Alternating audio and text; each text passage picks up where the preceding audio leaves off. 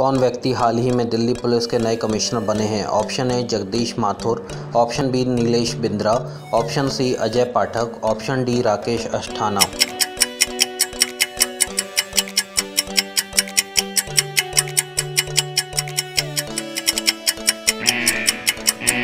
Right answer is option D, Rakesh Asthana.